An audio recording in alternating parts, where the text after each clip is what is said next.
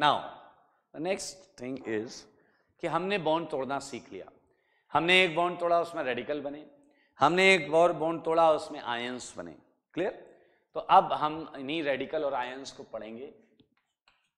And they are known as reaction intermediates reaction intermediates clear so like first intermediates जो आपने cation बनाए थे, उसमें एक था कार्बोकेटायन एक क्या था दोस्त? Carbocation ion. बनाया एक में प्लस आया था, एक में माइनस आया था तो केटायन एनायन हो गया और एक रेडिकल हो गया। सो व्हाट इज़ कार्बोकेटायन पहले व्हाट इज़ रिएक्शन इंटरमीडिएट आपको ये समझना पड़ेगा व्हाट इज़ रिएक्शन इंटरमीडिएट किसी भी रिएक्शन में क्या होता है? रिएक्टेंट क्या होता है? रिएक्टेंट और क्या होता है? प्रोडक्ट इन बिटवीन क्या होता है? इन बिटवीन होता है इंटरमीडिएट बीच में जो भी होता है उसे बोलते हैं इंटरमीडिएट तो ये वो चीज़ है जो किसी रिएक्शन के बीच में क्रिएट होती है। जैसे आपने देखा बॉन्ड टूटेगी तो बीच में क्रिएट होगी। तो ये कार्बोकेटाइन है तो मैं यहाँ पर लिख रहा हूँ। Species in between obtained obtained during reaction mechanism ठीक है? रिएक्शन मैकेनिज्म मतलब रिएक्शन के होते समय जो चीज़ें मिलती हैं, वो रिएक्शन इंटरमीडिएट्स होती हैं। And what is carbocation carbon intermediate carbon intermediate containing positive charge containing positive charge carbon intermediate carbon का इंटरमीडिएट है उसमें पॉजिटिव चार्ज है तो उसे कार्बोकेटाइन बोलेंगे। कार्बेन आयन क्या होगा? Carbon intermediate containing negative charge. Carbon radical क्या होगा? Neutral carbon intermediate. चलिए तो मैं एक छोटा सा कार्बोकेटाइन आपकी नज़रों के सामने लाता हूँ। ये देखिए। This is carbocation small C S three plus ये कार्बन पर प्लस है। मेरे ख्याल से थोड़ा बहुत हाइब्रिडाइजेशन आता होगा S P S P two S P नहीं आता तो उससे ज़्यादा लगेगा भी नहीं यहाँ पे। चलो, इसके बारे में हाई हेलो करते हैं मतलब जान पहचान बढ़ाएँगे इंट्रोडक्शन करेंगे। इंट्रोडक्शन करेंगे। आ जाओ। तो आप देख सकते हैं ये तीन बॉन्ड बना रहा है। एक, दो, तीन। That's why we can write trivalent trivalent तीन बॉन्ड बना रहा है। ठीक है? अच्छा इलेक्ट्रॉन्स काउंट करते हैं। यहाँ दो यहाँ दो यहाँ दो। तो केवल छह इलेक्ट्रॉन्स हैं। तो बताओ इसका ऑक्टेट कंप्लीट है या इनकम्प्लीट है? हैं?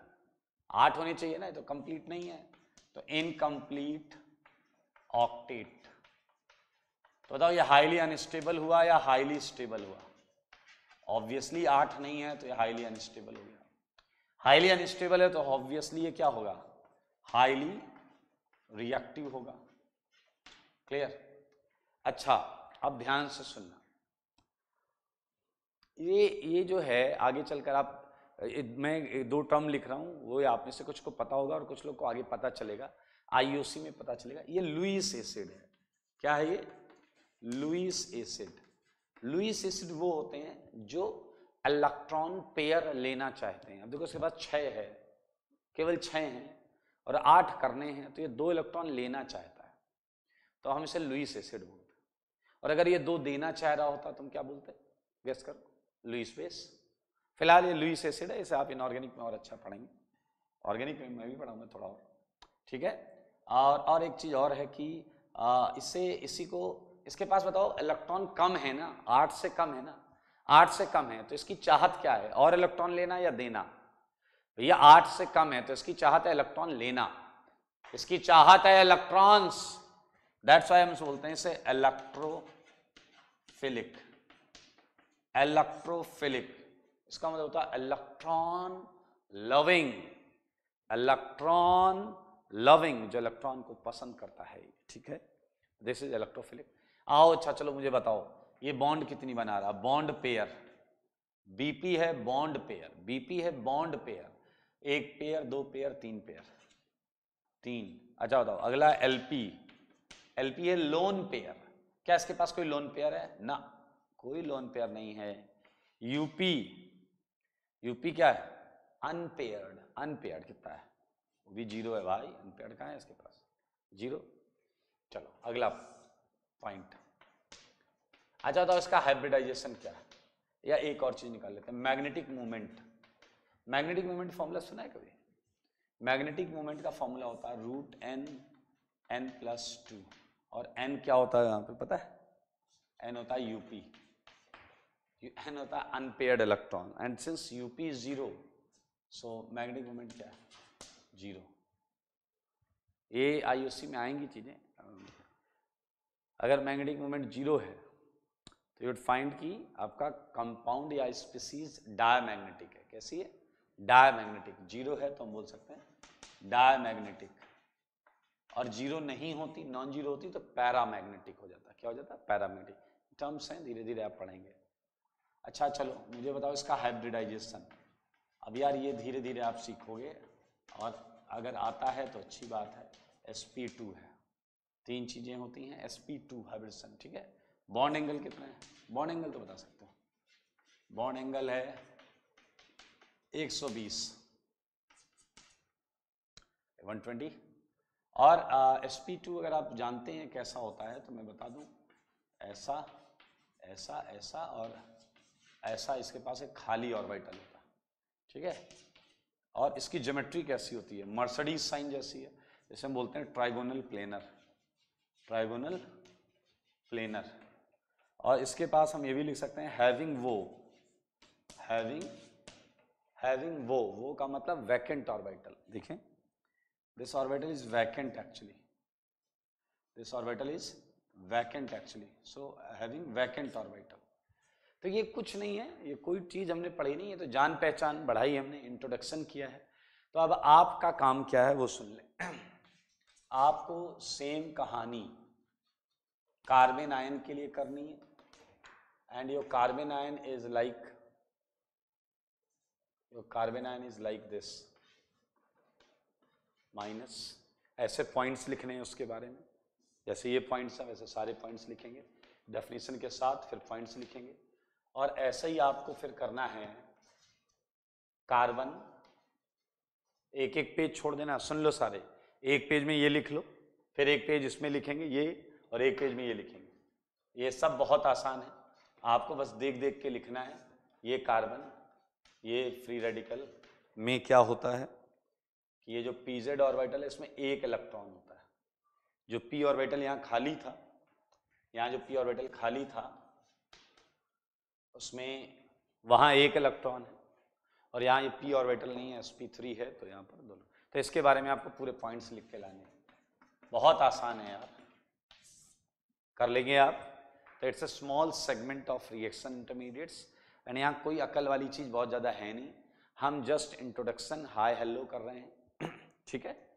तो आइए एक और एग्ज़ाम्पल करेंगे, जिसमें आप बॉन्ड तोड़ना सीख चुके हैं तो आप बॉन्ड तोड़कर देखेंगे प्रैक्टिस करेंगे। हटा रहा हूँ मैं अरे, कर लोगे दोस्त।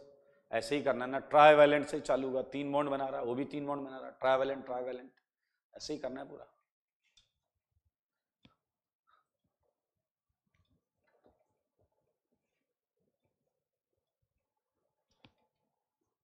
चलिए। कुछ क्वेश्चंस करेंगे। और ये जो क्वेश्चंस हैं, बहुत आसान है। बॉन्ड ब्रेकिंग जानना चाह रहे हैं। ये Cl है और मैंने कहा H2O में हीट कर दो। मैंने कहा H2O में हीट कर दो। ये Cl2 है और यहाँ मैंने H2O नहीं बोला, मैंने बोला हीट कर दो। समझना? यही तो बस फ़र्क है। जहाँ H2O नहीं दिया है, जहाँ H2O नहीं दिया है, वहाँ आयन नहीं बना सकते। आप समझें? अच्छा ऐसा नहीं कि H2O इकलौता पुलर सॉल्वेंट है। धीरे धीरे आगे बढ़ेंगे तो आपको पता चलेगा बहुत सारे पोलर सॉल्वेंट होते हैं।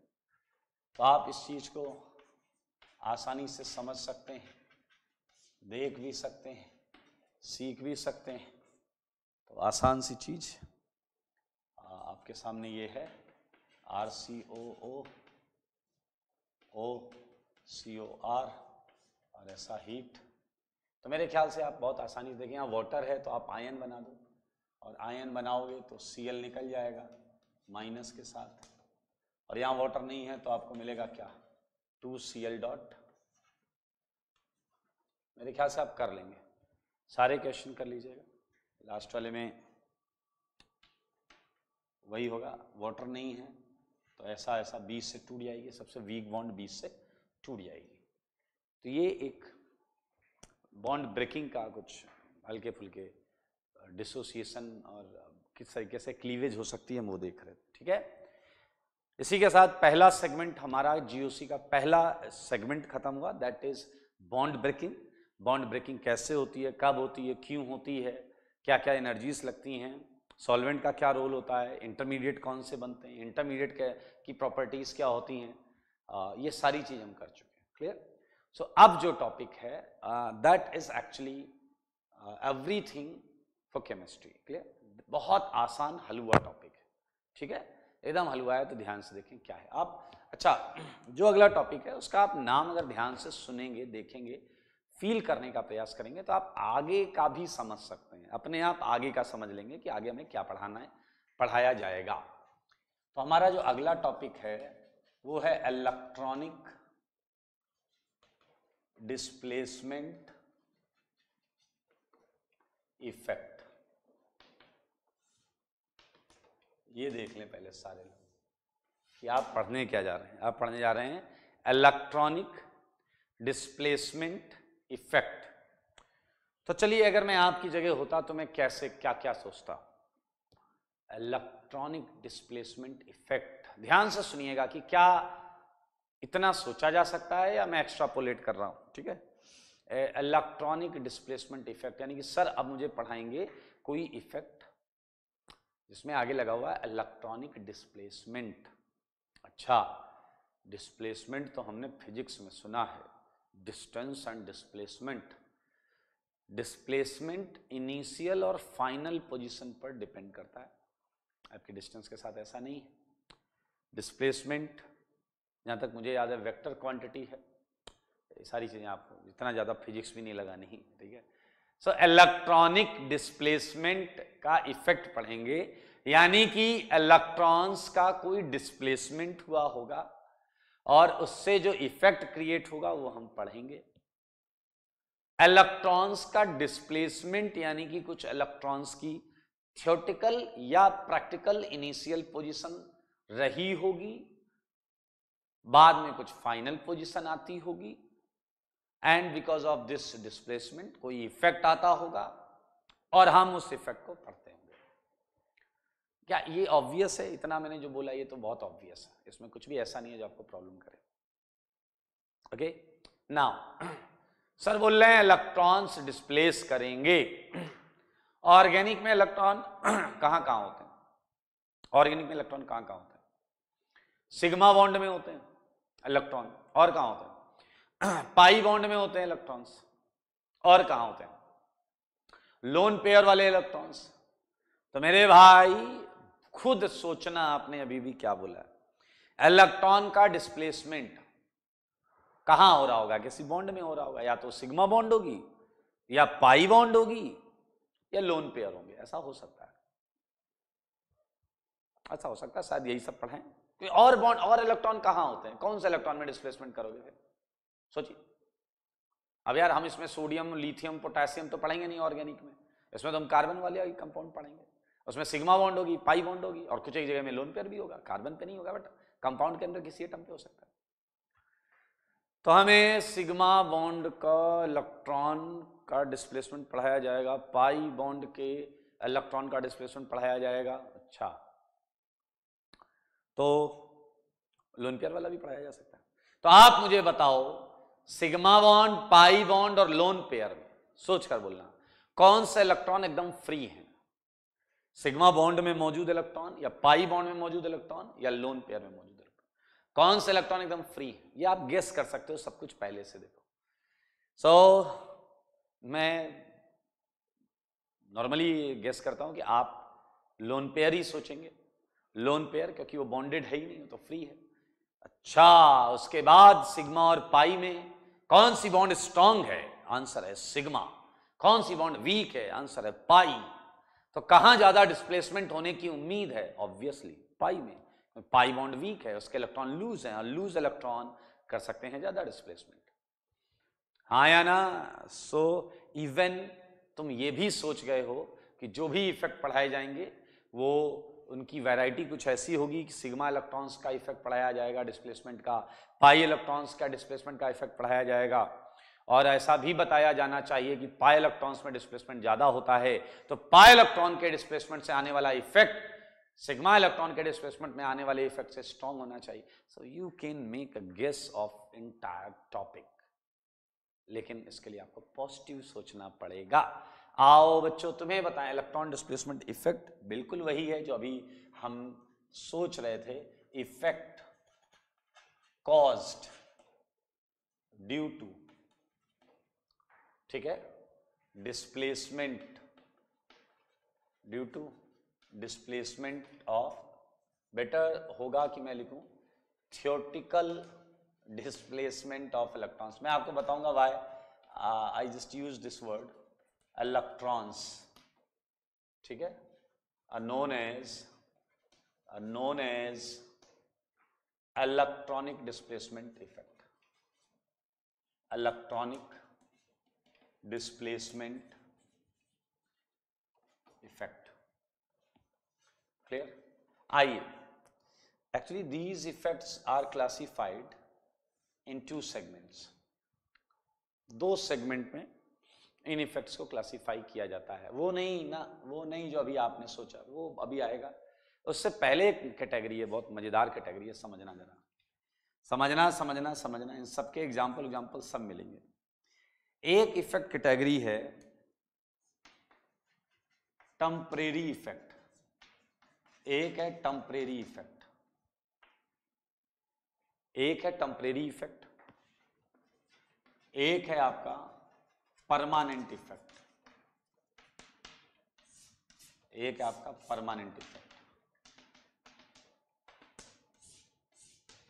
टेम्परेरी इफ़ेक्ट और एक है आपका परमानेंट इफ़ेक्ट। तो आप देख सकते हैं शीट को।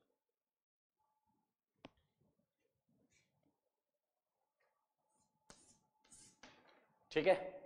अब आप इनके नाम से गेस करो, बिल्कुल सही। परमानेंट इफ़ेक्ट वो होता है जो मॉलिक्यूल में हमेशा मौजूद रहता है। मॉलिक्यूल दिन में हो, रात में हो, इस ग्रह पे हो या किसी और ग्रह पर हो, ये इफ़ेक्ट हमेशा सेम रहता है। बट टेम्परेरी इफ़ेक्ट जैसा कि नाम में ही है this effect is actually temporary ये इफ़ेक्ट किसी चीज़ की मौजूदगी में ही होगा और जब वो चीज़ हट जाएगी तो ये इफ़ेक्ट गायब हो जाएगा। इसका एक बहुत अच्छा एग्ज़ाम्पल मैं आपको देता हूँ। लाइक like आप अपने रूम में बैठे हैं पढ़ने के लिए। मैंने बोला बैठे के लिए पढ़, मतलब पढ़ने के लिए बैठे। हैं आप अपने रूम में पढ़ने के लिए बैठे। हैं लेकिन देखिए अगर आसपास आपके मम्मी या पापा कोई हों तो आपकी पढ़ाई एकदम ज़बरदस्त चल रही होती है। अब पढ़ाई चले या ना चले एटलीस्ट आप दिखा तो रहे होते हैं कि आप बहुत ध्यान से पढ़ रहे हैं। और जैसे ही वो एक्सटर्नल कॉज जिसकी वजह से आप ये कर रहे थे जैसे ही वो एक्सटर्नल कॉज जिसकी वजह से आप ये कर रहे थे वो उस रूम से कहीं जाए, आप तुरंत अंगड़ाई ले लेते हो, मोबाइल देख लेते हो, खिड़की से बाहर झाँक लेते हो तो वो कंसंट्रेशन लेवल जो आपका पढ़ाई का था that's gets distracted even you can say disturbed so actually that was not your pure intention की नहीं अच्छा एक बच्चा है, वो पढ़ रहा है फोकस्ड एकदम फोकस्ड रूम में अकेला है, पढ़ रहा है फोकस्ड मम्मी पापा दस बार आए गए, चले गए, उसे पता ही नहीं है is focused this is a permanent effect this is a permanent effect.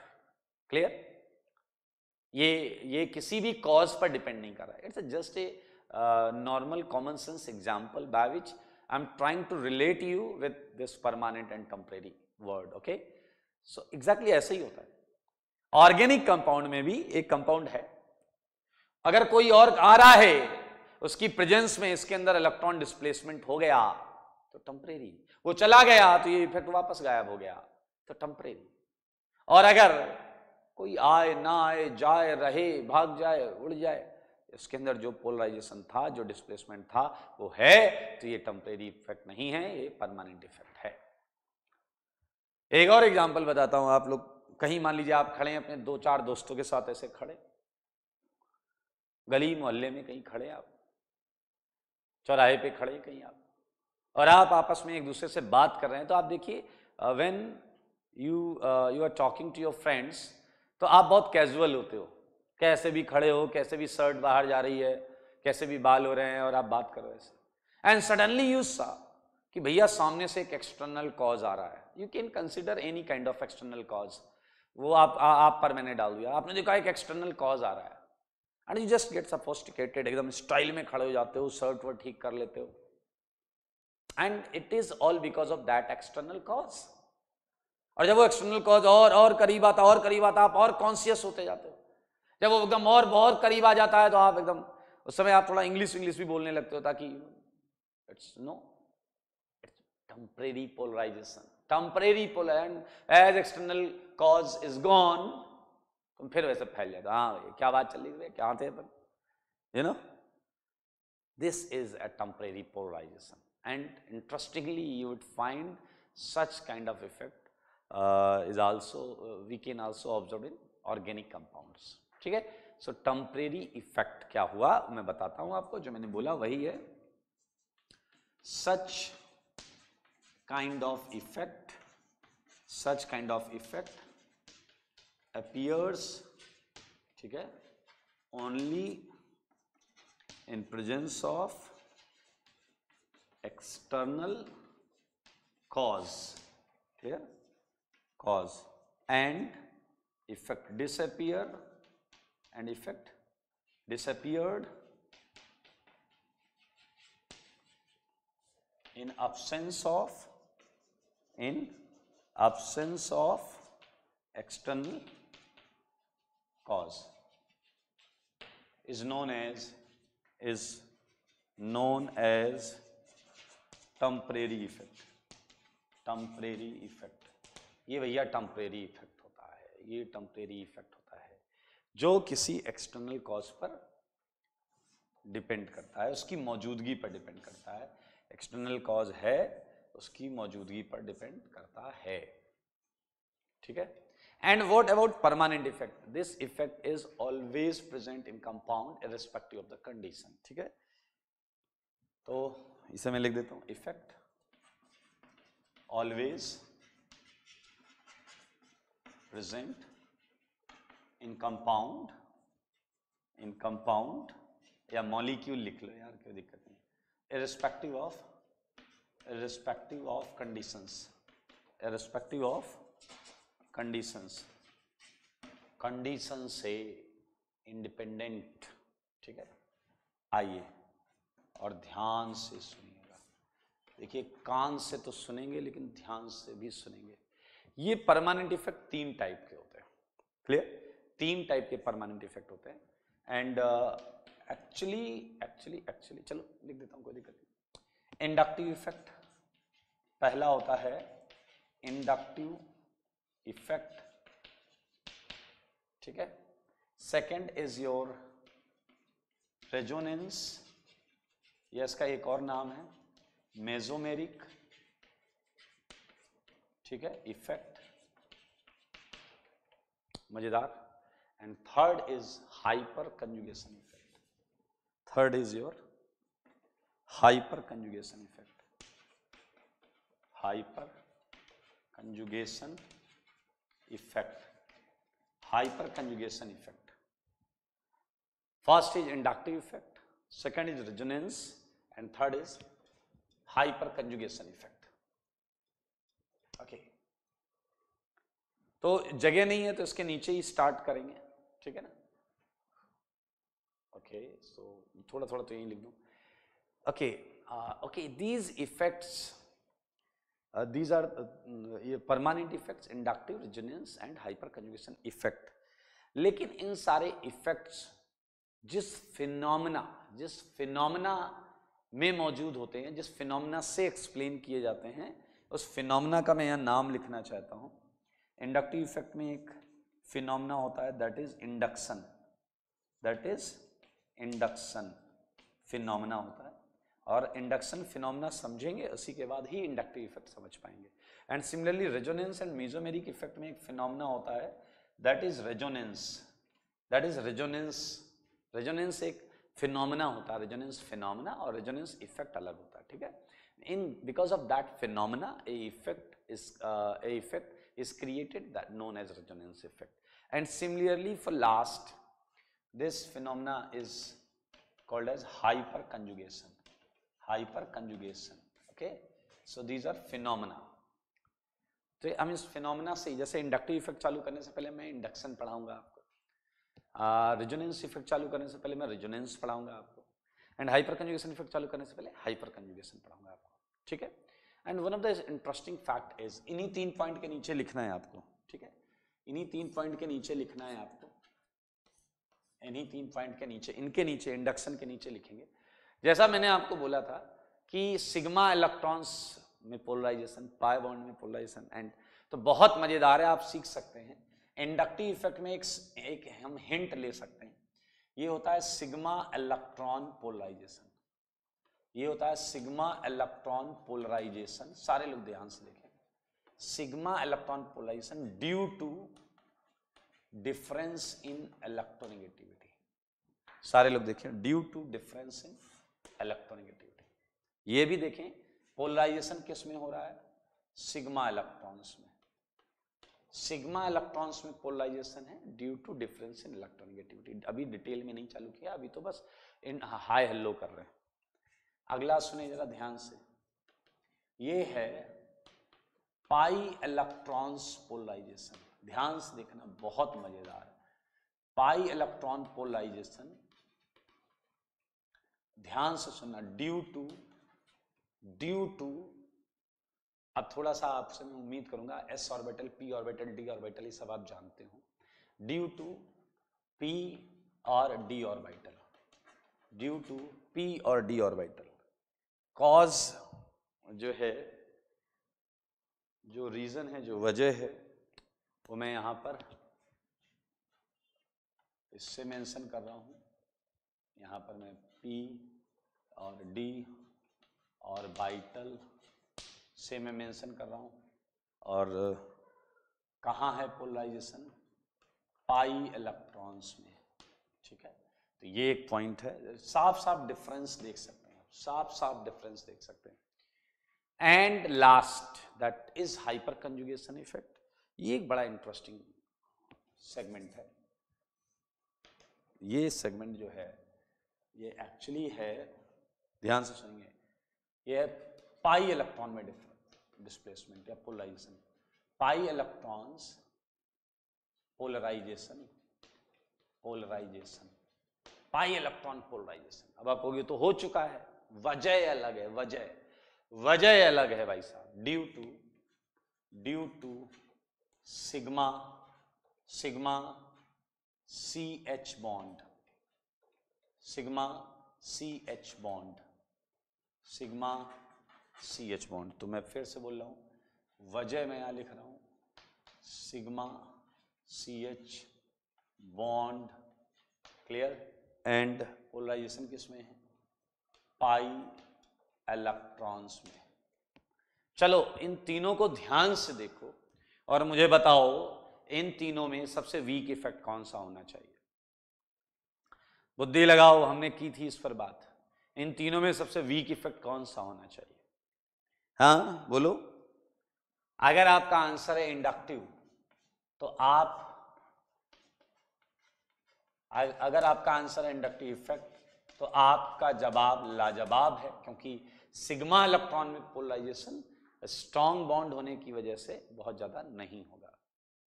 Now the concept is between resonance and hyperconjugation. अगर आप बुद्धि लगाओ तो सेकेंड नंबर पर आना चाहिए, हाइपर कंजुगेशन। क्योंकि कहीं ना कहीं हाइपर कंजुगेशन इफ़ेक्ट भी रीजन सिग्मा यूज़ कर रहा है, रीजन सिग्मा बॉन्ड यूज़ कर रहा है। क्या आप देख पा रहे हैं? इसकी जो वजह है, वो सिग्मा बॉन्ड है। और आपके पास अगर इतनी बुद्धि है तो आप इनऑर्गेनिक में पढ़ लीजिएगा कि पी ऑर्बिटल ये सिग्मा बॉन्ड नहीं बनाता। पी और ऑर्बिटल जो है प्योर पी ऑर्बिटल ये पाई बॉन्ड ही बनाता है। प्योर पी और ऑर्बिटल क्या बनाता है? पाई बॉन्ड बनाता है। दैट्स वाई आप देख सकते हैं टॉप पर आया है रेजोनेंस इफ़ेक्ट टॉप पर आया है रेजोनेंस इफ़ेक्ट मैं आर इफ़ेक्ट लिखूँगा जगह की कमी की वजह से।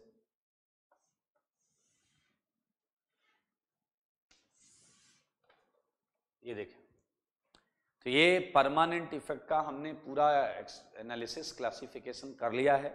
परमानेंट इफ़ेक्ट क्या होता है? तीन टाइप के इफ़ेक्ट होते हैं। इनमें फिनोमिना का नाम इंडक्शन फिनोमिना से इंडक्टिव इफ़ेक्ट पढ़ेंगे रेजोनेंस फिनोमिना से रेजोनेंस इफ़ेक्ट पढ़ेंगे हाइपर कंजुगेशन फिनोमिना से हाइपर कंजुगेशन इफ़ेक्ट पढ़ेंगे आ, थोड़ा थोड़ा आइडिया दिया मैंने कि how what we are going to study in inductive effect sigma electron polarization why how सब बताऊँगा मैं। रेजोनेंस में pi electron polarization because of pi electrons because of pi P orbitals and last में pi electrons because polarization because of sigma bond and अगर आप देखें तो temporary effect भी एक सेगमेंट था हमारा, इसकी डेफिनेशन लिखी हुई है। और टम्परेरी इफ़ेक्ट के मैं यहाँ पर आपको टम्परेरी इफ़ेक्ट के मैं आपको दो पार्ट दे रहा हूँ। Clear it is from temporary effect temporary effect का है, थोड़ा सा मैं सुंदर सा बना देता हूँ। ठीक है? टम्परेरी इफ़ेक्ट ये यहाँ लिखा है हमने। इसके दो पार्ट इसके भी होते हैं।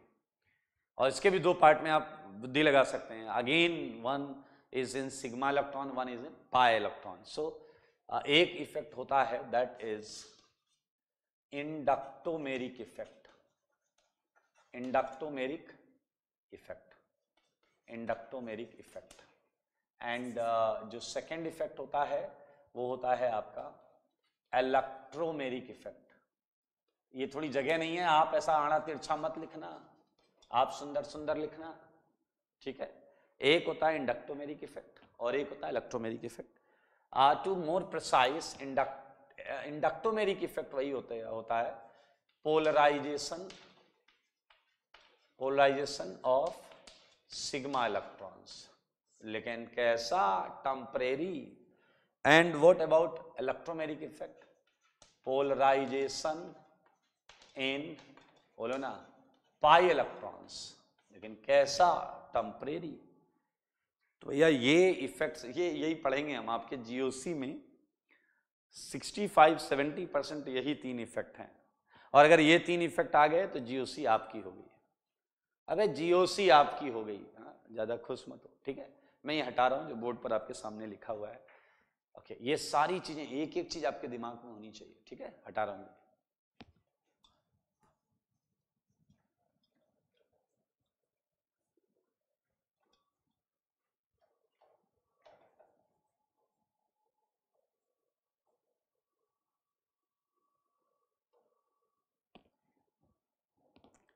चलिए so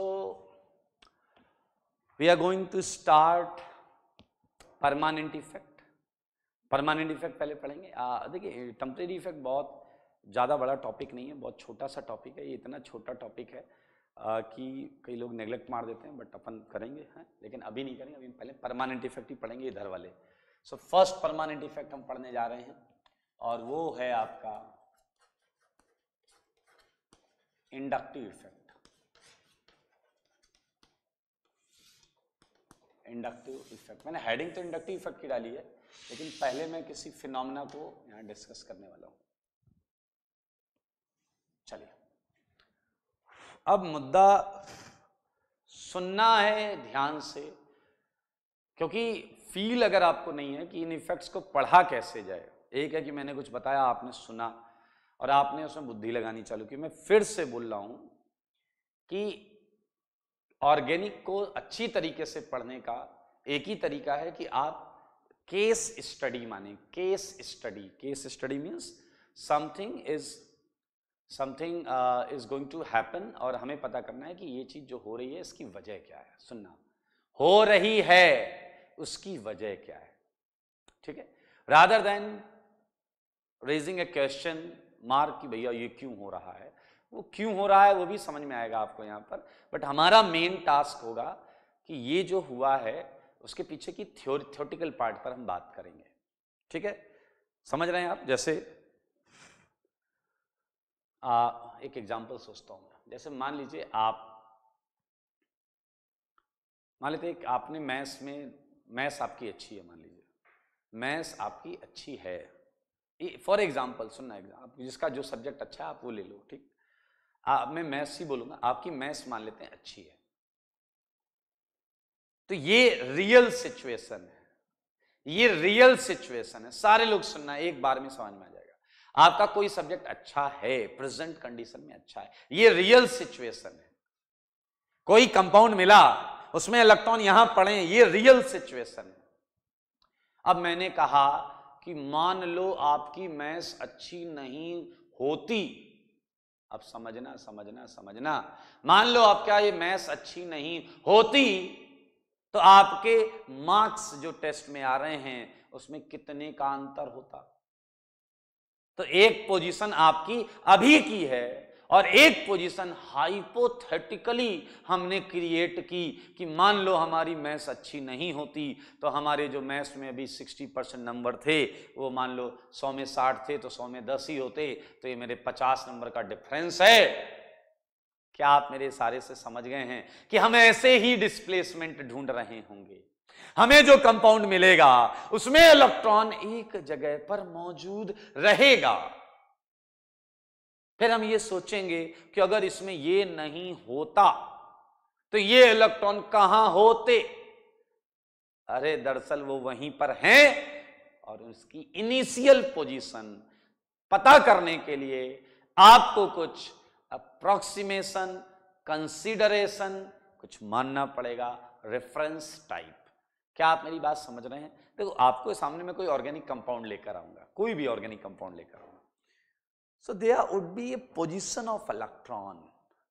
Okay, it would not be like electron यहाँ से गायब हो गया वहाँ पहुँच गया वहाँ से गायब हो गया वहाँ पहुँच इट्स नेवर लाइक दैट कोई ऐसा कंपाउंड नहीं इसमें ऐसा होता तो उसकी एक पोजीशन होगी। ये मान लेते हैं यहाँ पर। ठीक है? जैसे एक छोटा सा एग्जांपल देता हूँ मैं कि जैसे देखना ध्यान से देखना यही समझाएँगे ये एक बॉन्ड आई। ठीक है?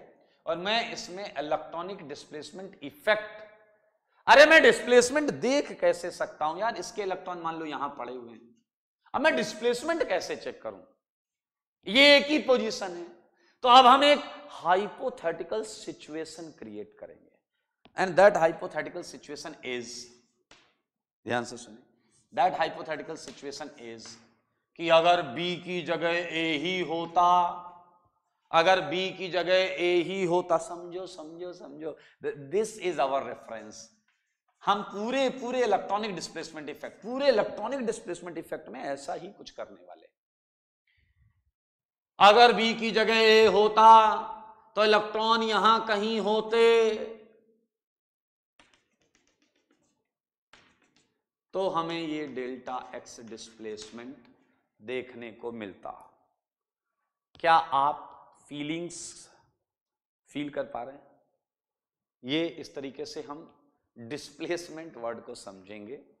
They are would always something to compare like this इसके इलेक्ट्रॉन्स कहाँ हैं, किसके कंपेटिवली तो हम एक ऐसा एजम्पन कंसिडरेशन या रेफरेंस कंसिडर कर रहे होंगे, ठीक है? Okay so now moving ahead with this inductive effect हाँ?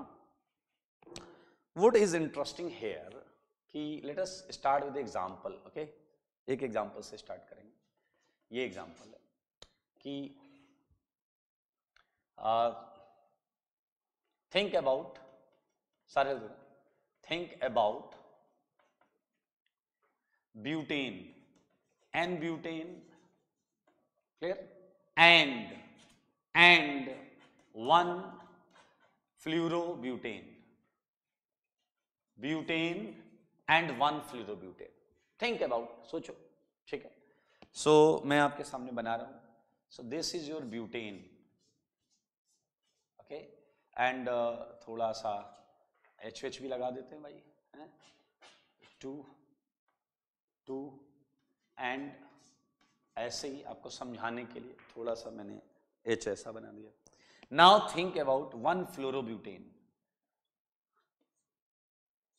सारे लोग देखेंगे सारे लोग देखेंगे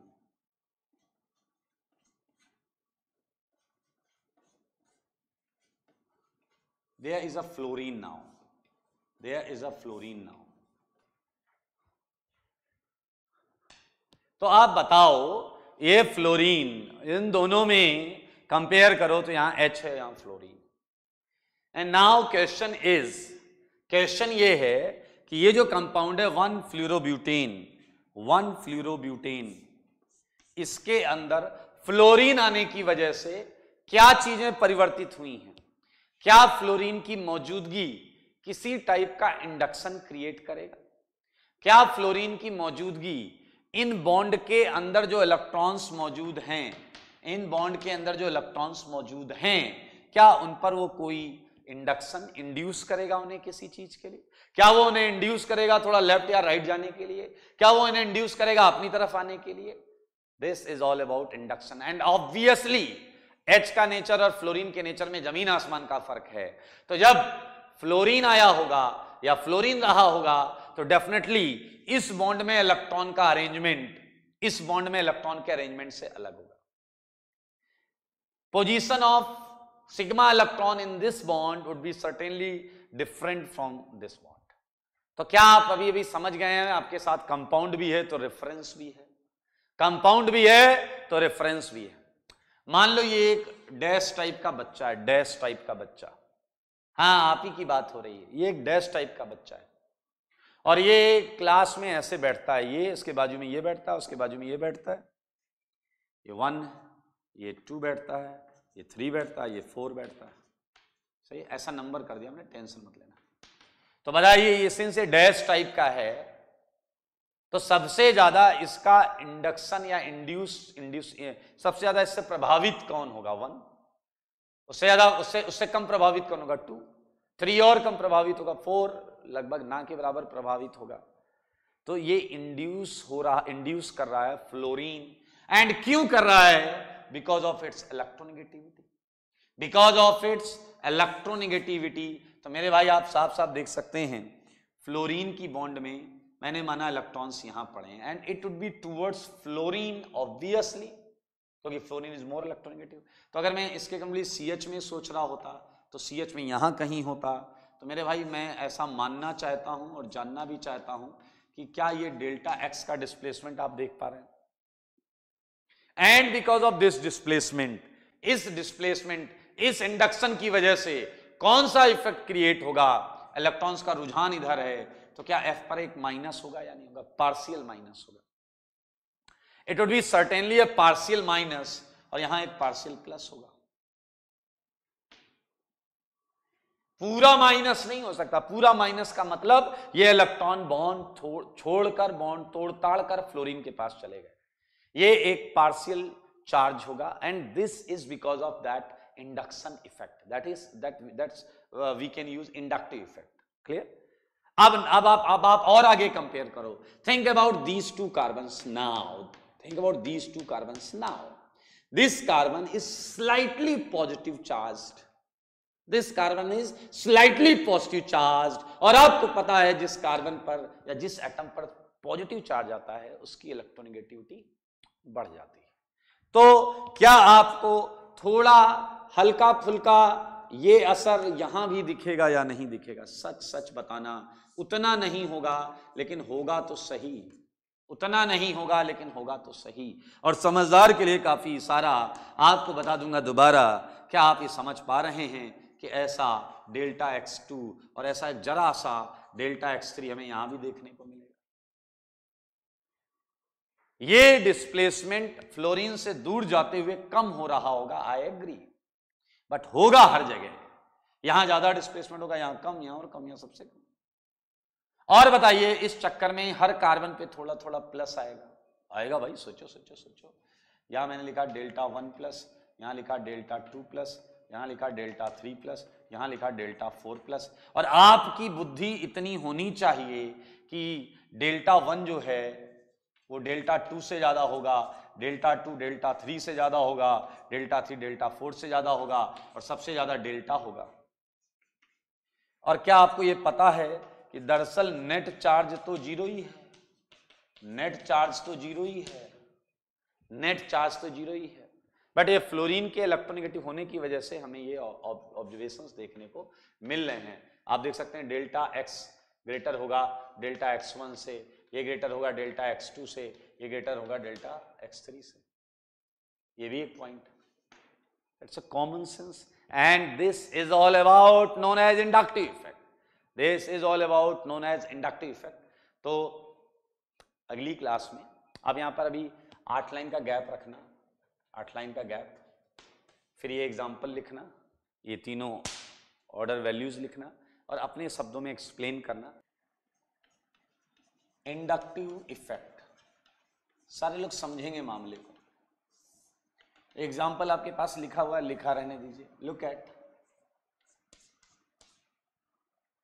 जब किसी कंपाउंड में कार्बन से कोई एक इलेक्ट्रोनेगेटिव एटम लग गया, या कोई भी एक एटम या ग्रुप लग गया, ठीक है, जैसे आपको याद होगा, हमने जो पिछली क्लास में क्वेश्चन लिया हुआ, वो फ्लोरीन है, ठीक है।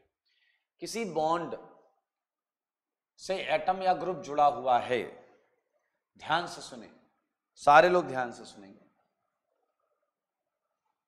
Other than hydrogen other than hydrogen ये सारे लोग देखेंगे कि ये एटम या ग्रुप जो है एच नहीं हो सकता। ये एटम जो है वो एच नहीं हो सकता।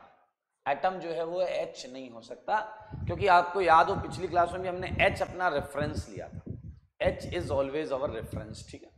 सो व्हेन ए एटम और group is connected with carbon in any organic compound clear तो because of this because of this atom और ग्रुप इस एटम या ग्रुप की इलेक्ट्रोनेगेटिविटी की वजह से यू कैन से इलेक्ट्रोपॉजिटिविटी की जो भी रिलेटिव टर्म है की वजह से जो सिग्मा इलेक्ट्रॉन्स में जो सिग्मा इलेक्ट्रॉन्स में एक डिस्प्लेसमेंट आएगा या सिग्मा इलेक्ट्रॉन्स जो आ, अपनी जगह से थोड़ा सा अपने आप को रीअरेंज करेंगे इस पूरे फिनोमेना को हम बोलेंगे इंडक्शन पूरा जो सिग्मा इलेक्ट्रॉन्स हैं they gets rearranged because of this atom और ग्रुप सही बात है? Phenomena is induction and effect is inductive effect clear पूरे फिनोमिना को हम क्या बोलेंगे? इंड्यूस्ड कर रहा है ये एटम और ग्रुप टू गेट्स पोलराइजेशन और डिस्प्लेसमेंट ऑफ़ सिग्मा इलेक्ट्रॉन्स तो इस बात को मैं यहाँ लिखा रहा हूँ, ठीक है? ध्यान से सुनो। परमानेंट आपने आठ लाइन का गैप छोड़ा उसी के लिए। Permanent displacement. ठीक है? बॉन्ड में जो सिग्मा इलेक्ट्रॉन्स हैं, उनकी बात। ऑफ़ सिग्मा इलेक्ट्रॉन्स, ठीक है? In any covalent bond in any covalent bond clear due to due to electronegativity difference या बेटर है हम इसे डेल्टा ई एन लिख दें। Due to delta E N of attach atom attach atom और group with carbon with carbon clear is known as is known as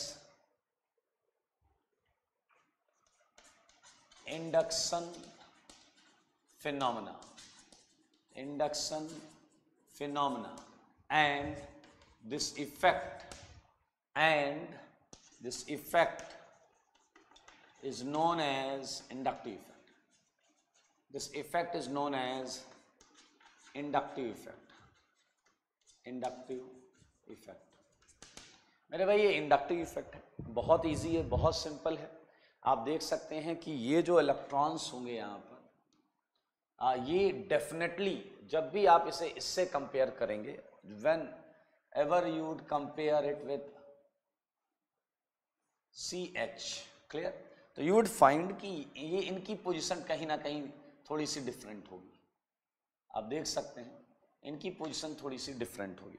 And because of that because of that एक displacement देखने को मिलेगा। Clear they are not connected actually ठीक है? So so, ये समझें hydrogen is always our reference तो ये हो गया तो आप आपको डेफिनेशन जो आठ लाइन का गैप था उसमें आप ये लिखेंगे।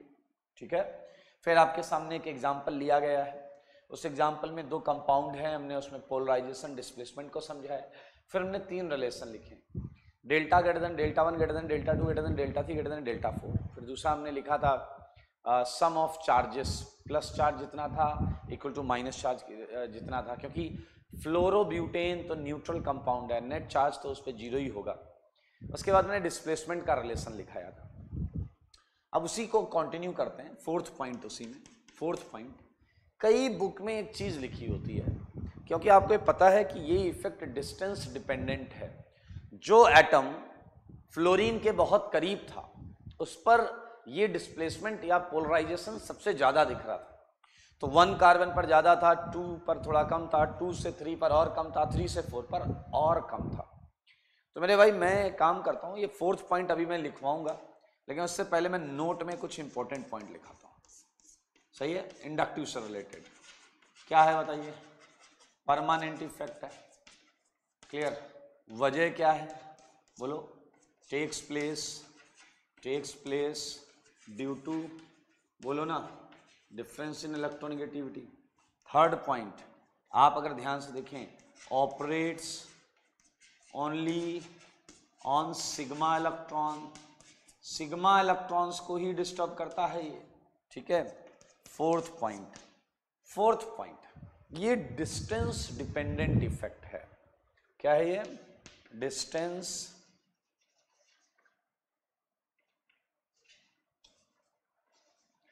distance dependent effect distance पर डिपेंड करता है क्लियर फिफ्थ पॉइंट अब जो पॉइंट्स हैं वो थोड़े से ध्यान से सुनिए।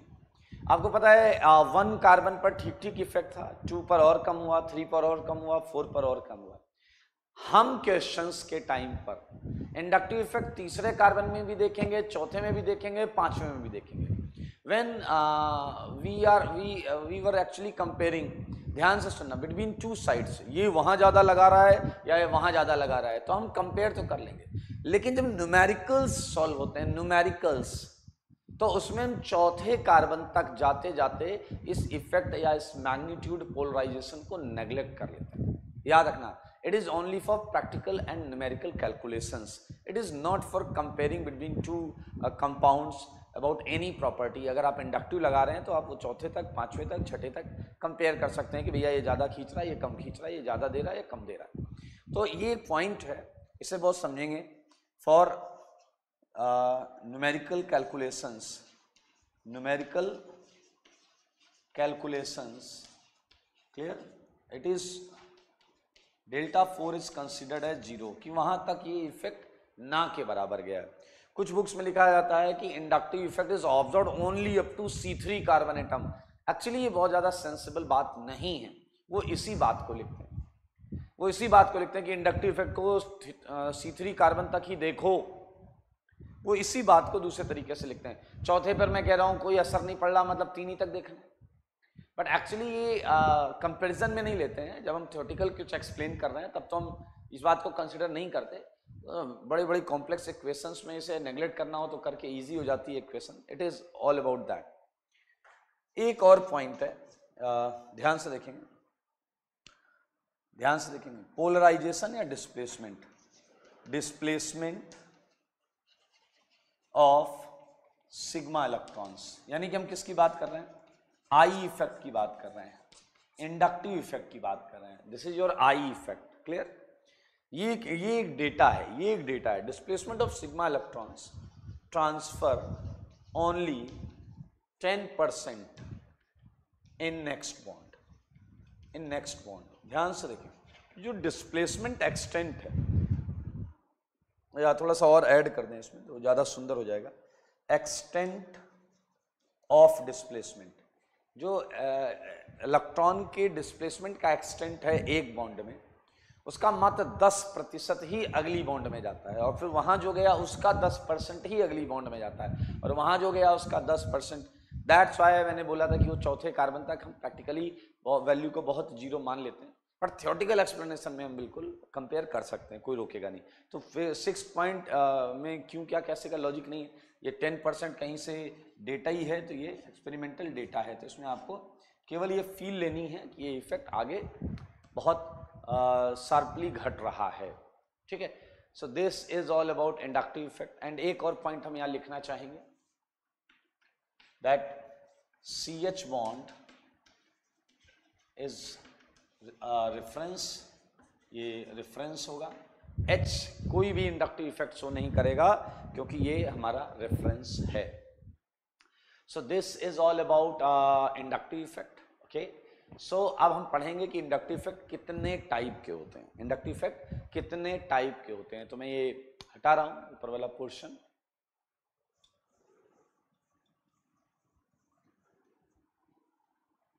okay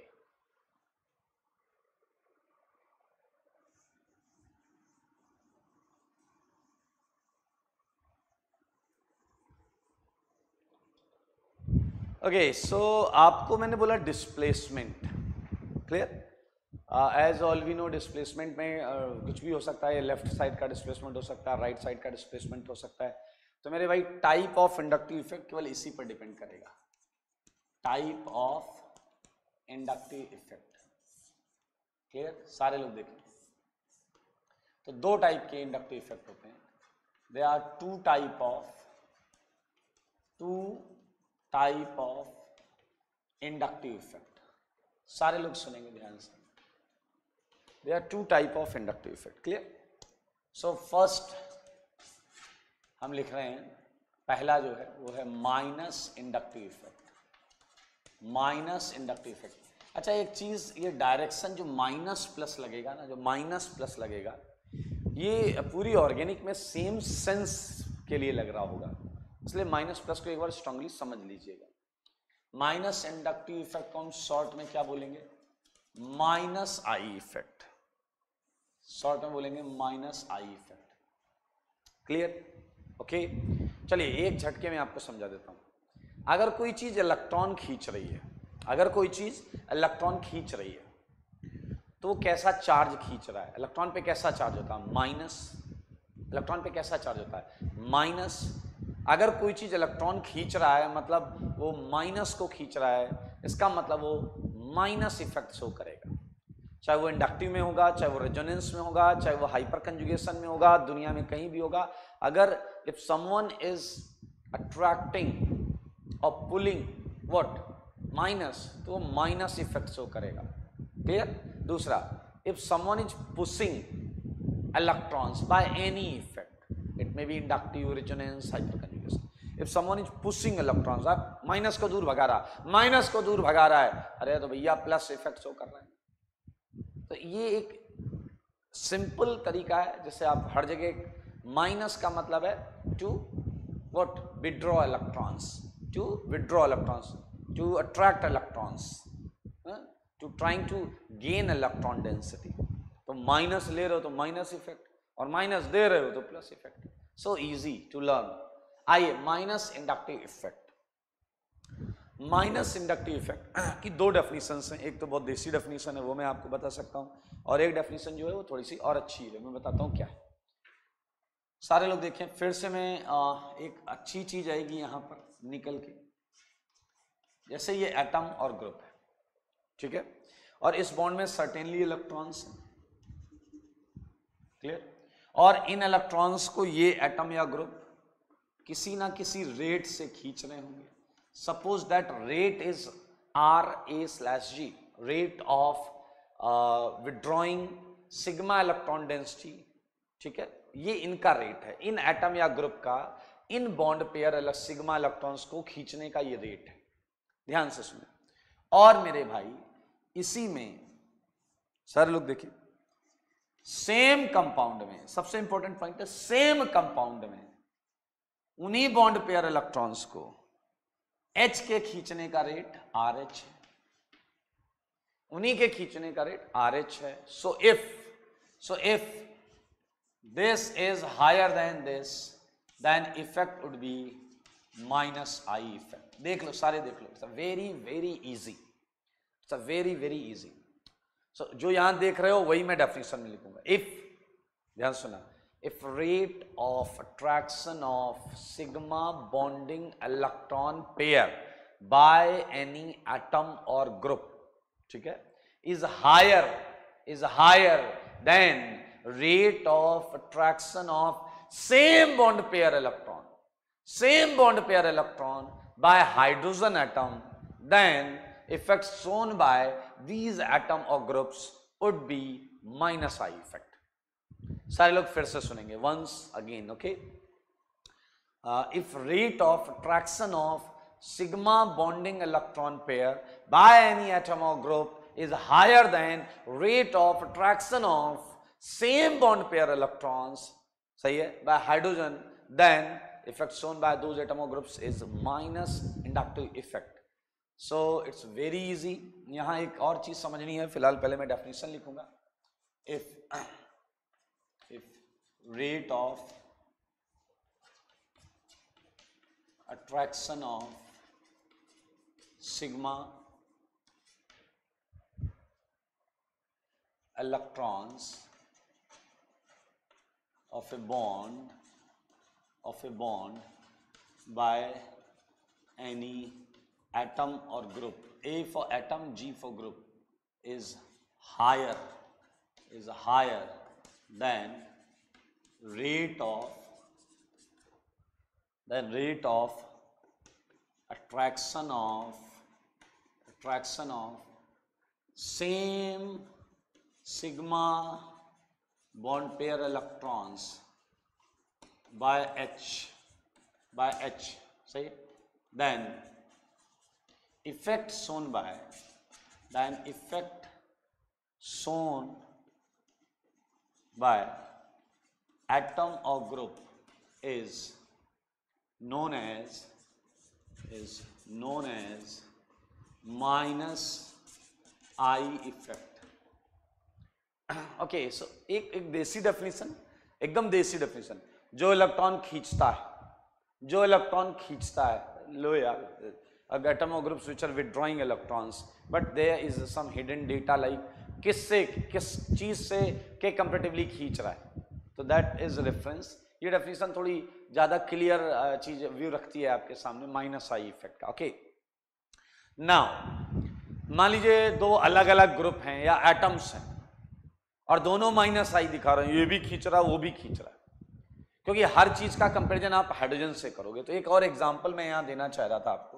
Look at this example like अगर आप इस कंपाउंड में सीएल का माइनस आई चेक करना चाहते हैं clear then your reference would be what your reference would be cyclohexane your reference would be cyclohexane and अगर आप, ध्यान से सुनिए अगर आप क्लोरोबेंजीन में Cl का माइनस आई या डिस्प्लेसमेंट कंपेयर करना चाहते हैं then your reference would be definitely benzene so the interesting fact is this कि कैन नॉट से एग्जैक्टली कि सेम डिस्प्लेसमेंट करेगा Cl इट्स गुड कि Cl हमेशा माइनस आई करेगा that's fine but the extent of displacement of दो sigma electrons would always be same it's not sure समझ लें, यहाँ कितने इधर गए उसका कंपैरिजन इससे होगा, और यहाँ कितने गए उसका कंपैरिजन इससे होगा, क्योंकि हमें सेम इलेक्ट्रॉन्स पर इफ़ेक्ट देखना है, इसलिए कंपाउंड टू कंपाउंड हमारा रेफरेंस उसी एटम ग्रुप की जगह एच लगाने से आएगा। क्लोरोबेंजीन में निकालना है तो उसका रेफरेंस हमें ये नहीं देखना है कि कितने मिलीमीटर सेंटीमीटर डेसीमीटर इधर उधर, वो आपने को नहीं देखना, आपने को बस देखना है सीएल क्या करता है? खींचता है माइनस आई लगाता है, खत्म। ठीक है सो ये यहाँ थोड़ा सा एक्सप्लेन कर लेना कि what am trying to explain that each and every compound, in each and every compound atom or group attached atom or group always have their own reference compound clear उनका एक खुद का reference compound होता है and you should mention it now the interesting fact is कि जैसा मैंने कहा कि मैंने मान लो तुम्हें फ्लोरीन भी दे दिया क्लोरीन भी दे दिया NO2 भी दे दिया ठीक है now you have fluorine chlorine and NO2 and all are showing minus I effect means all are withdrawing sigma electrons towards itself all are withdrawing sigma electrons towards itself and now we have to find out we have to find out कि किसने ज़्यादा withdraw किया किसने ज़्यादा extent तक withdraw किया so you can say that sir fluorine must be ahead to chlorine fluorine ज़्यादा चाहिए क्लोरीन से ओके okay, so हम बहुत सारे ग्रुप्स आ सकते हैं तो जितने ग्रुप्स आईटी में हमारे काम के हैं उनके लिए मैंने एक ऑर्डर रखा है वो देखें आप तो यहाँ बनाता हूँ हूँ ठीक है? इसके जस्ट बाद देखें एक ठीक लग रहा। चलिए।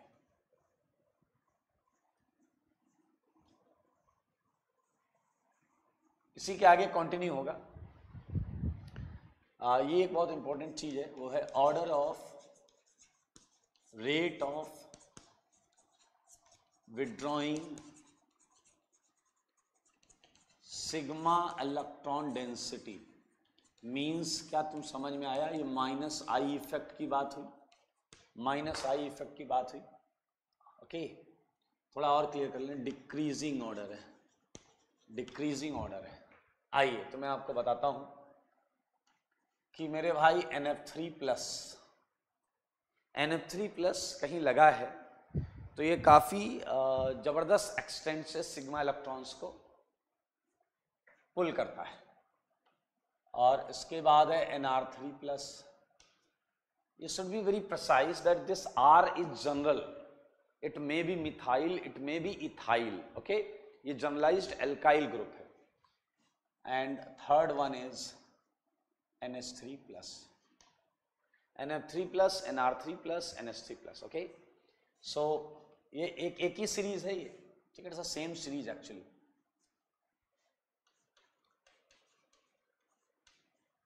NO2 it's a CN okay? C double OH acid. It's a fluorine chlorine bromine iodine. C double OR OR OH NH2 clear?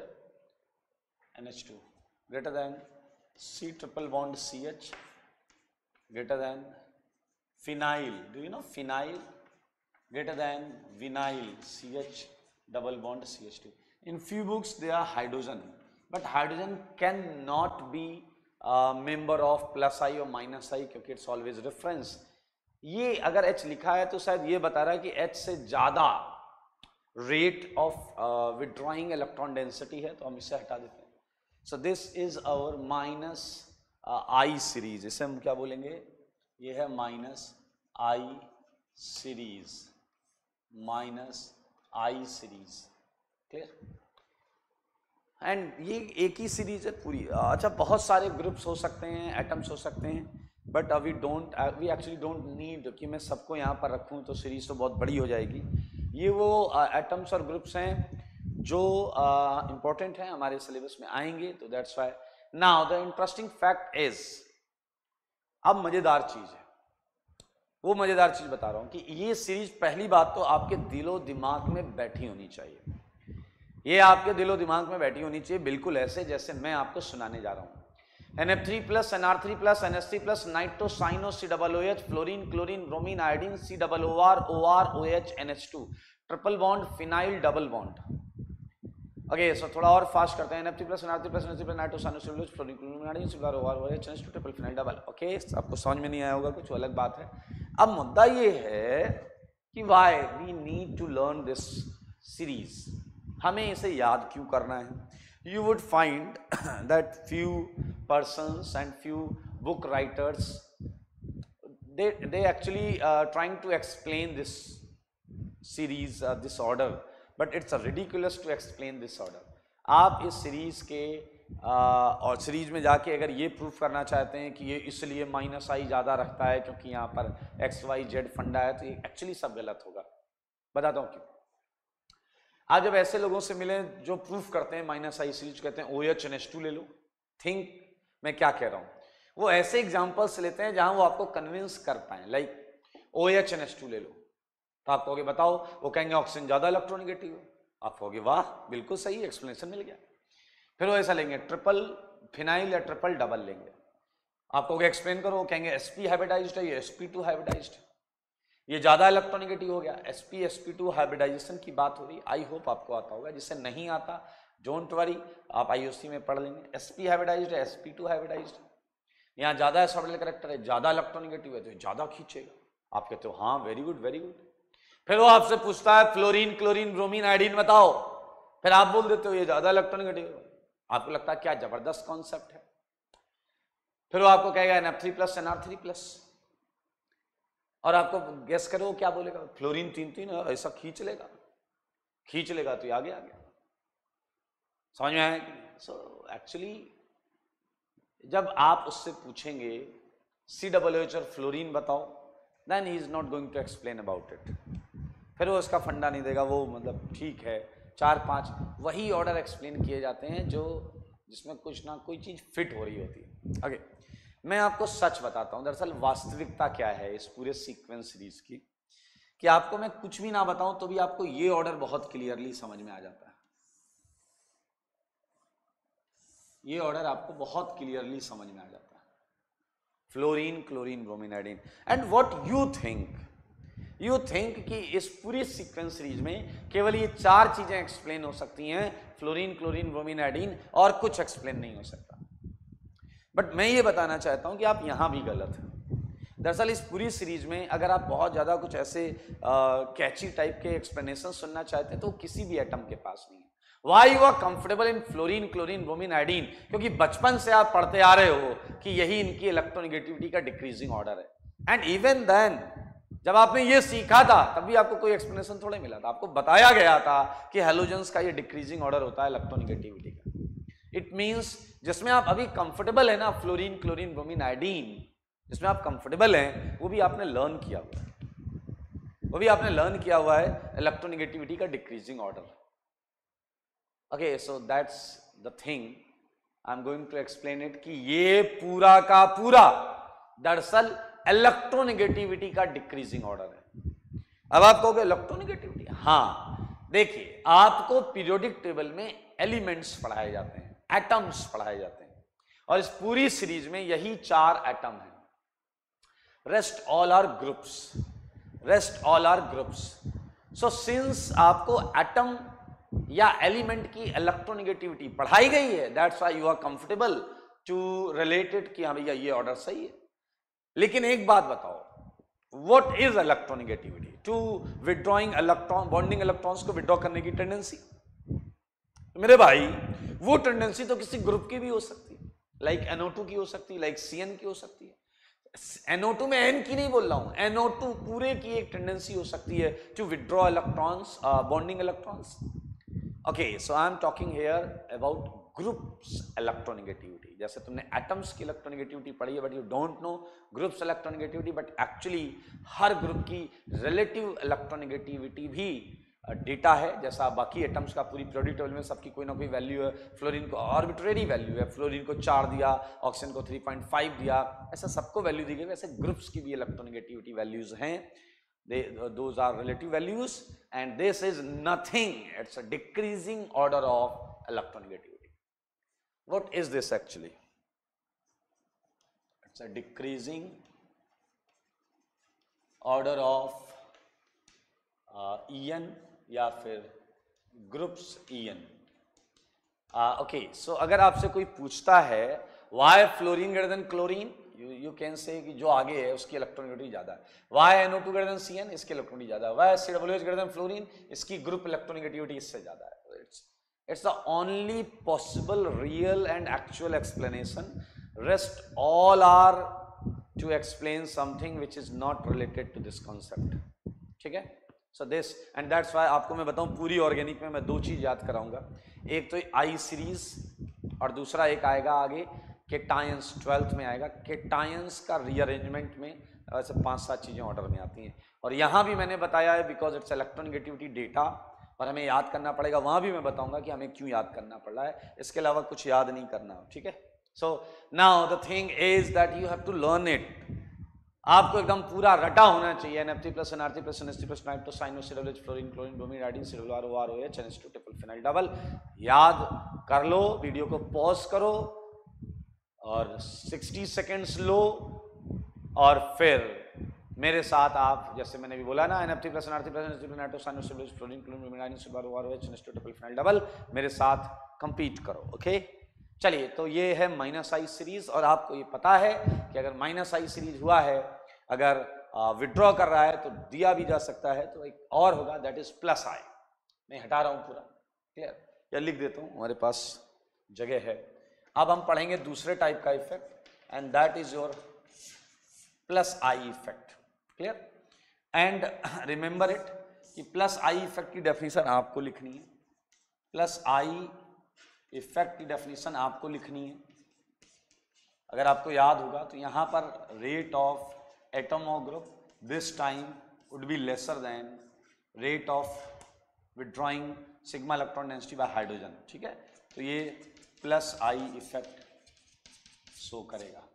It would show plus I effect देख सकते हैं। ठीक है? याद है ना? इसका ये रेट है और इसका ये रेट है। तो अगर एच का रेट ज़्यादा हो गया सो मेरे ख्याल से डेफिनेशन आप लिख लोगे। जो आपने माइनस आई इफ़ेक्ट में डेफिनेशन लिखी उसी इफ़ेक्ट में जहाँ था हायर वहाँ हो जाएगा लेसर और आखिरी में माइनस आई की जगह हो जाएगा प्लस आई ठीक है? माइनस आई की जगह क्या हो जाएगा? Plus I now the next चीज़ जो आपको पता है for which you are waiting for की decreasing order of what plus I effect plus I effect ठीक है? अभी कैन से व्हाट वही इलेक्ट्रोनिगेटिविटी ग्रुप इलेक्ट्रोनिटी का यहाँ डिक्रीजिंग ऑर्डर नहीं होगा। यहाँ इलेक्ट्रोनिगेटिविटी ग्रुप इलेक्ट्रोनिटी डिक्रीजिंग ऑर्डर नहीं होगा। नाउ गैस करें इसे। डिक्रीजिंग ऑर्डर नहीं होगा, क्योंकि अगर हम विड्रॉइंग की बात कर रहे होते, तब हम सेम चीज़ को बोलते। विड्रॉइंग में आ रहा है। यहाँ पर रिवर्स ऑर्डर होगा। ध्यान से देखें। सबसे ज़्यादा जो इलेक्ट्रॉन पुल कर रहा है, वो है C H two sorry push कर रहा है, वो है सी एच टू माइनस देखिए सी एच टू माइनस वैसे एक लॉजिकल बात प्लस से कहीं ना कहीं विड्रॉइंग टेंडेंसी आती है माइनस इलेक्ट्रॉन्स को तो रिपेल ही करेगा। इलेक्ट्रॉन्स भी नेगेटिवली चार्ज होते हैं। तो सी एच टू माइनस सबसे आगे है इस सीरीज़ में। N H minus O minus देखें C H two minus N H minus O minus थोड़ा सा जगह का अभाव मैं इधर लिख देता हूँ इसे यहाँ से हटा के प्लस आई सीरीज़ ना मैं इधर लिख देता हूँ। यहाँ पर लिख रहा हूँ मैं प्लस आई सीरीज़ क्लियर देखें जरा।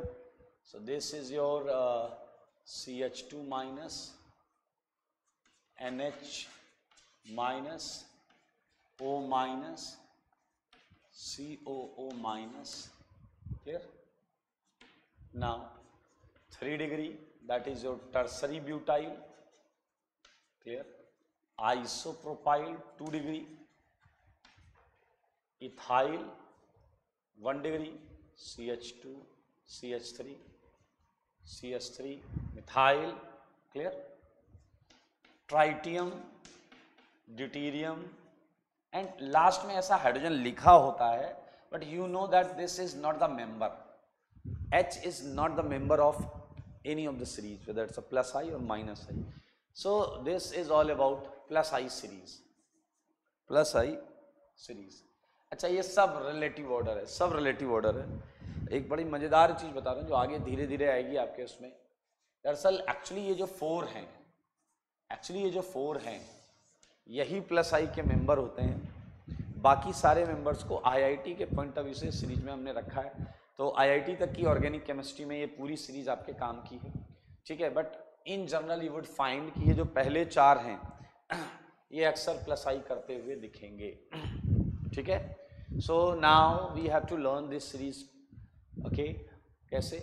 C H two minus N H minus O minus C O O minus Now you can say 3 degree, 2 degree, one degree methyl T D and H बोल सकते हैं but H is not the member of plus I okay so C H two minus N H minus O minus सीरोलो minus three degree two degree methyl T methyl T D H C H two minus N H minus O minus सीरोलो minus three degree two degree methyl methyl T D कर लोगे?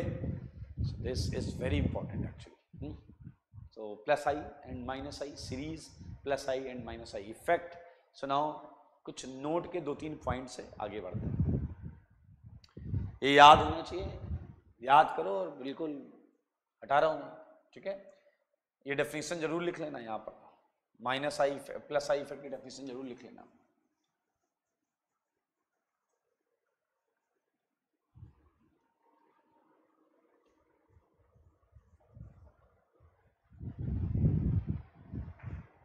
Okay so so, note में हम कुछ चीज़ें देख सकते हैं। Like plus I effect की बात करें या माइनस आई इफ़ेक्ट की बात करें। तो एक फील लेते हैं। प्लस आई इफ़ेक्ट और माइनस आई इफ़ेक्ट में एक इफ़ेक्ट इलेक्ट्रॉन डोनेटिंग है और एक इलेक्ट्रॉन विड्रॉइंग है। एक ऐसा है जो इलेक्ट्रॉन्स को अपनी तरफ़ आने दे रहा है। अभी मैंने आपको तरीका बताया था इलेक्ट्रॉन्स को अपनी तरफ़ आने दे रहा मतलब माइनस को। मतलब minus I effect is electron withdrawing effect electron withdrawing effect ये इलेक्ट्रॉन विड्रॉइंग इफ़ेक्ट है। और similarly plus I effect is electron donating effect electron donating effect. यानी कि अगर कहीं प्लस आई ग्रुप लगा है तो वो आगे इलेक्ट्रॉन डेंसिटी बढ़ाने की टेंडेंसी रख रहा है, और कहीं विड्रॉइंग लगा है तो उसने इलेक्ट्रॉन डेंसिटी घटाने की टेंडेंसी उसकी प्रवृत्ति रखी हुई है। Okay but all we know that कोई भी आई इफ़ेक्ट है, कोई भी आई इफ़ेक्ट है इज़ ए वीक इफ़ेक्ट ये तो आपको पता है। बहुत वीक इफ़ेक्ट है because it operates on tightly bonded tightly packed sigma electron density ये वीक इफ़ेक्ट है ठीक है? तो ये इफ़ेक्ट लगेगा बट रिलेटिवली हम जब किसी से कंपेयर करेंगे तो ये वीक इफ़ेक्ट है ये भी हमें याद रखना चाहिए। चलिए सो so, कुछ एग्जाम्पल्स देता हूँ। हालाँकि बहुत ज़्यादा बहुत ज़्यादा लॉजिकल नहीं होता किसी नए ग्रुप को इंट्रोड्यूस करना। बहुत ज़्यादा लॉजिकल नहीं होता किसी नए ग्रुप को इंट्रोड्यूस करना in inductive effect in any question क्योंकि आपको पता है कोई भी इंडक्टिव इफ़ेक्ट इलेक्ट्रोनिगेटिविटी के ऑर्डर से ही निकलेगा। क्लियर सो so, हमें किसी ग्रुप की इलेक्ट्रोनिगेटिविटी पता नहीं है। So how can we are how can we solve such kind of question it's a just using common sense actually हम समझेंगे इस चीज़ को कि मैंने कोई नए ग्रुप दे दिया और मैंने कहा बताओ इसका प्लस आई सीरीज़ ऑर्डर क्या होगा, ये ज़्यादा होगा, ये कम होगा तो हमें एक्चुअली उनकी इलेक्ट्रोनिगेटिविटी पता होनी चाहिए। एंड वो हमारे पास नहीं है तो हम कॉमन सेंस लगाएँगे, देखें। Arrange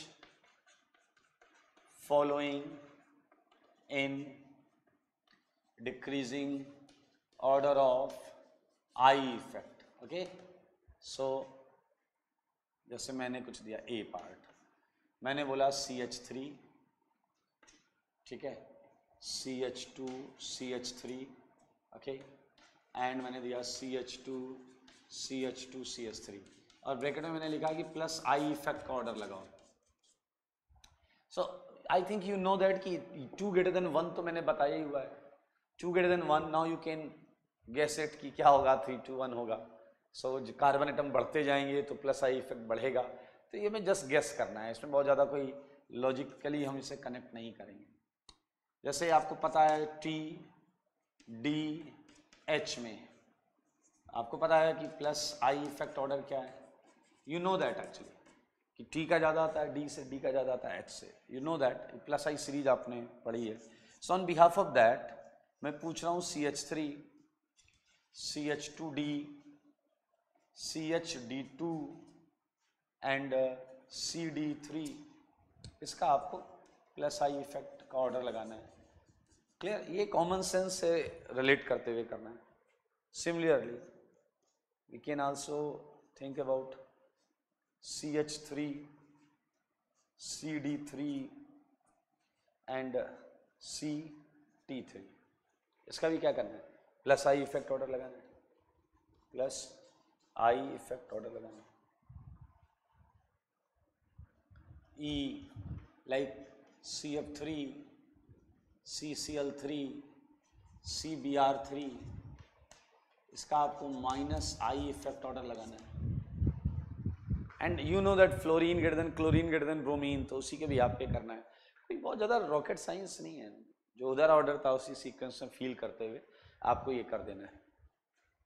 Okay so now one more example example one now this is example two it was example one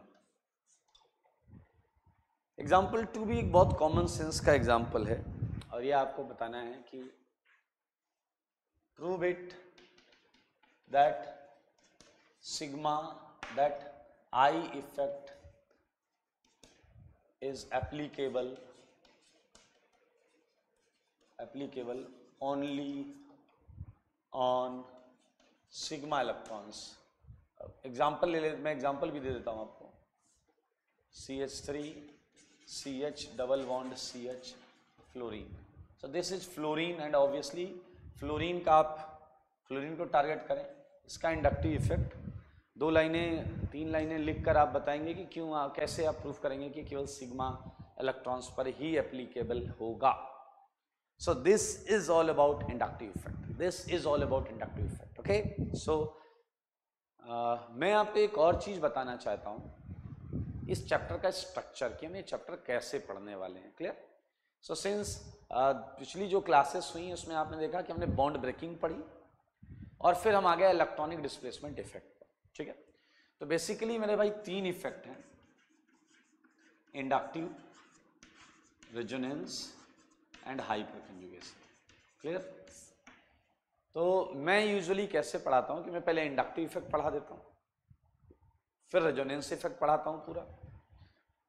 फिर हाइपर कंजुगेशन इफ़ेक्ट पढ़ाता हूँ। और ये तीनों इफ़ेक्ट पढ़ने के बाद हम क्वेश्चन करना चालू करते हैं। बिकॉज़ जब क्वेश्चन आपके सामने आएगा तो अब आपको खुद सोचना है कि आप उसमें रेजोनेंस भी देखेंगे हाइपर कंजुगेशन भी देखेंगे इंडक्टिव भी देखेंगे और फिर क्वेश्चन सॉल्व करेंगे।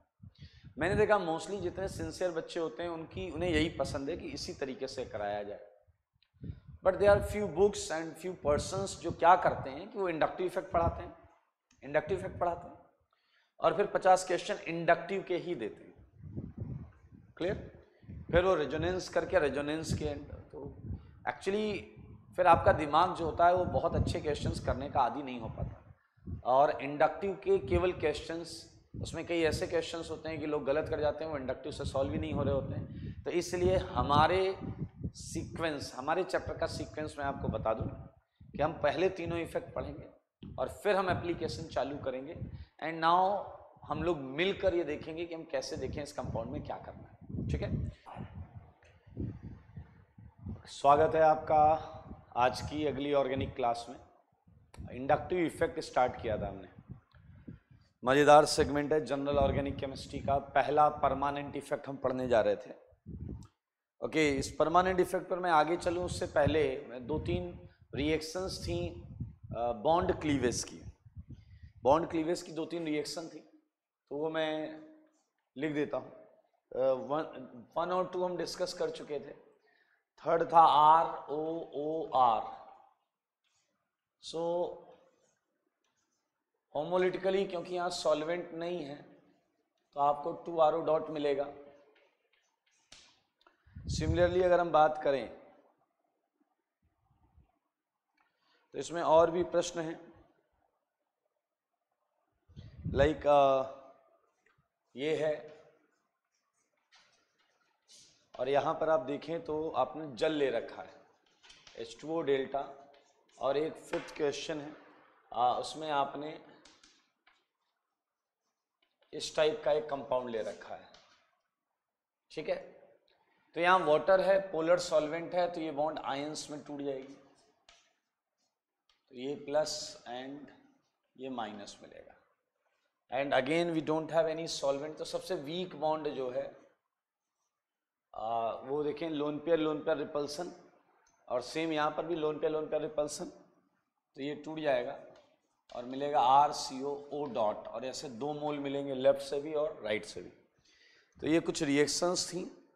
जो हमने की थी पहले लास्ट क्लास में तीन के आंसर्स मैंने नहीं बताए थे तो वो आंसर्स मैंने आपको अभी भी बताए ठीक है? तो चलिए मैं यहाँ पर आपको आगे बढ़कर इंडक्टिव इफ़ेक्ट अगर आपको याद हो तो इंडक्टिव इफ़ेक्ट हमने पढ़ा था क्या था? एक एग्ज़ाम्पल लिया था हमने ब्यूटेन का एंड वन फ्लूरोब्यूटेन का। तो इंडक्टिव इफ़ेक्ट की हेडिंग के बाद मैंने बोला था आठ लाइन का गैप रखने को। आठ लाइन का गैप रखने को। तो मैं चलिए वो वहाँ से डेफिनेशन लिखाते हुए आगे बढ़ता हूँ। सारे लोग देखेंगे।